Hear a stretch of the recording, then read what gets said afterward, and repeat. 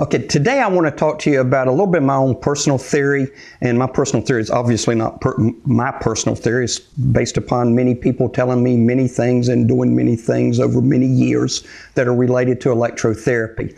And what it basically is, I'm just trying to give you an understanding uh, or communicate better to you what I think is the thing that is making and electrotherapies wide open for what goes on. But we can use electricity, and that's a whole field, that's a, a very broad term. But we can take electricity and we make bones grow back together that weren't going to grow back together, and therefore you avoid amputation.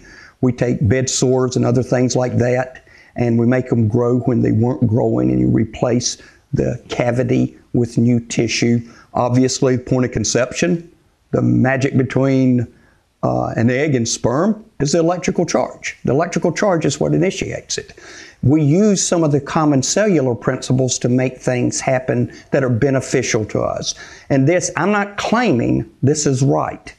I'm only claiming over my 30 plus years of doing this, this is what I have seen that seems to be very consistent. You'll hear people start off in the industry that I've been in. I don't care what type of device they got their device, the way they start making money and are able to continue to exist, is they basically differentiate well, my machine has this waveform or that waveform, or it does A and B and C and D, and that's why my machine works, and therefore that's why you should use it. Uh, I don't believe waveforms are the key to this thing. I don't believe there's any, there are literally, literally billions of different types of combinations of electrical energy you can do, and you will get similar results.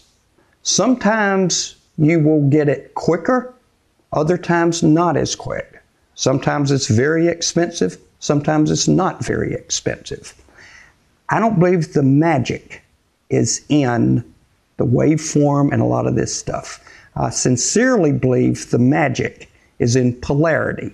And all polarity means is a charge, electrons that are floating around on an atom. They're floating all over the place, 186,000 miles a second. They have a negative charge.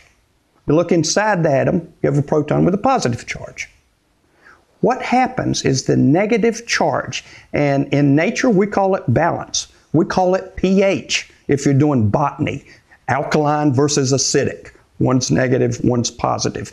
It's nothing unique. This is the way this is the way our world works. What is going on? And I like to use the analogy. Some machines, especially with bed sores, if a bed sore is not healing, of course, everything assumes proper nutrition and everything I'm talking to you about. A bed sore is not healing if you apply a specific charge positive or negative, and that's not a black and white issue, there's gradients of that. But positive or negative charge, if you apply the proper charge at the proper time, it heals immediately. If you, you apply the wrong charge to it, then it just sits where it is and doesn't get better. I'm not sure it gets worse, it just doesn't get better. Well, what is going on. And like, I don't know if you can single in on this, and maybe Jeff can. I want to show you a, waveform on the Infrex.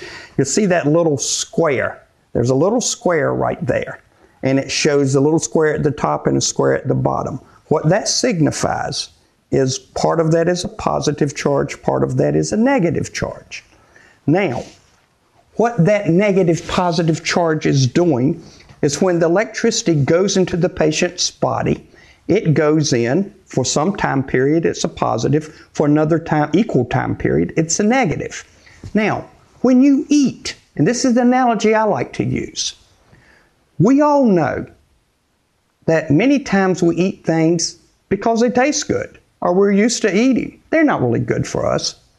But what our body does is it eliminates it. Some of the stuff you ate was good for you and some was bad for you. The body is smart enough to figure out what it needs and what it doesn't need. It uses what it needs and it discharges what it does not need. The same thing is going on when you allow the body the exposure of a positive and a negative charge. My contention is the body chooses which polarity it needs to affect positive change in healthiness. It, it assumes, it uses, it does what is necessary to stay healthy.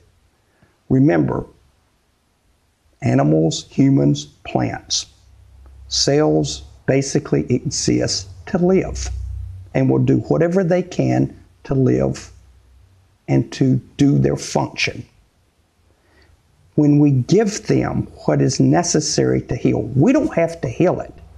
We don't have to tell the, give the body a supplement and say, this is to stop pain. We just have to give the body what it needs to heal itself. That's the natural way of things. I think the positive changes that are being seen are because externally we are feeding the body the electrical charge it needs. It then uses that to affect the positive change. As you've seen in my previous videos about what does it take, the Brenda Savage book on to create chemical change, we do that. We give the body what it needs. We don't always know what the body's doing with it. We can just look at the results of what happened as a result of electrical intervention. My honest to goodness feeling is it all boils down to polarity, either positive or negative charge at the time the body needs them. That, I think, is the key. And the reason I did this video is I know how complicated it is well, you have to have this and this and this and that and frequency and pulse and pulse width and got to go off and on, your treatment protocol, blah, blah, blah, blah, blah, blah. I don't think it's quite that complicated. And I think over time, as you see what will happen on our website through our functional restoration clinicians, through some of the protocols we put up, some of the results you'll see coming up, I think it will become clearer. This isn't total rocket science. This is practical common sense science. You got it. I hope I got it. And I think that's what's going to happen. Thanks for watching the video.